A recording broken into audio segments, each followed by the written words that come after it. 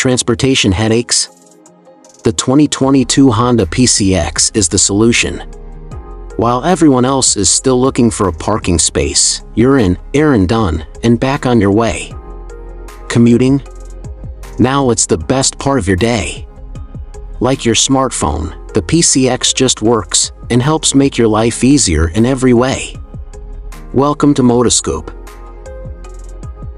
Bringing elegance and technical superiority to the next level, the all-new PCX 160 lets Filipino riders stand out with its all-new premium design and improved driving performance. It also boasts of the latest technology and security features. The PCX 160 is powered by a new engine with ESP Plus or Enhanced Smart Power Plus. With an increased displacement, 157 cubic centimeters, and applying a 4-valve SOHC head, it generates 16 horsepower at 8,500 RPM.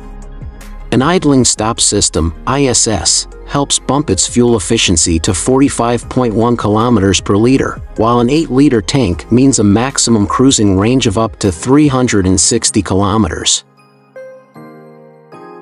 The PCX 160 comes with a new LED head and X-shaped taillights.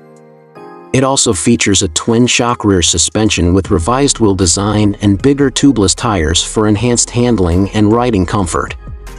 On board, a new and wider digital meter panel offers improved information visibility along with an upgraded USB power outlet and smart key with anti-theft alarm and answer back system.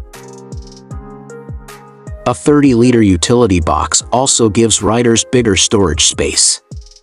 The PCX 160 is available has two brake variations, namely the anti-lock brake system, ABS type, and the combi brake system, CBS type. Both come with front and rear disc brakes. The ABS version comes equipped with Honda Selectable Torque Control or HSTC. The ABS and HSTC combined ensures a rider's safety. HSTC controls safety on wheel traction, while ABS prevents any braking lockup. The all-new PCX 160 CBS comes in two colors, matte dim gray metallic and pearl fadeless white with an SRP of 115,900 pesos, while the PCX 160 ABS comes in asteroid black metallic and pearl fadeless white with an SRP 133,900. Are you planning to buy this motorcycle unit? Let me know in the comment box below. Also don't forget to hit the subscribe button. And if you enjoyed this video, you can leave a like and share it with your friends. Thanks for watching.